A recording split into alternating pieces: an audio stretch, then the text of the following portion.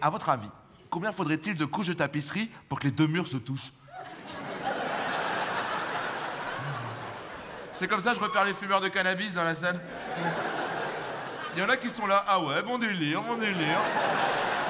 Allez, je me lance, je me lance. Vas-y, lance-toi et coupe tes dreads. Non, mais je, pose souvent des questions comme ça quand je me fais chier. Et euh. Tu sais, sais, les gens qui ont une tache de vin sur le visage, genre Jean-Luc Reichmann ou Gorbatchev, est-ce qu'ils ont déjà pensé à mettre du sel dessus ouais. Qu'est-ce que fais Il y a 80 000 séropositifs en France et 2000 qui ne savent pas. Euh, pourquoi on leur dit pas Faut-il mettre une majuscule après un émoticône Oh.